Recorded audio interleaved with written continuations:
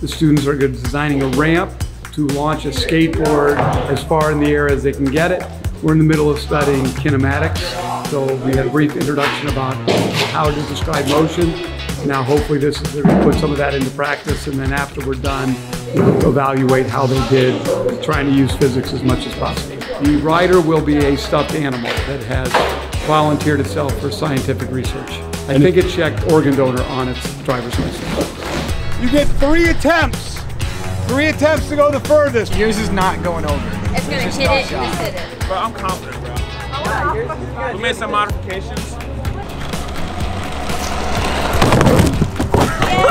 Hey!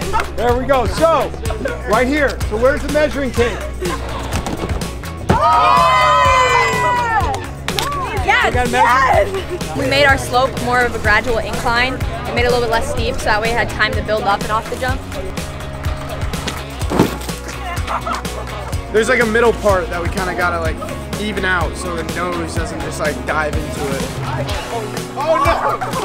Oh!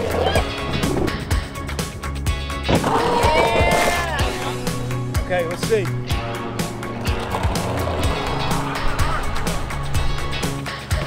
Give it to us. Give it to us. Yeah!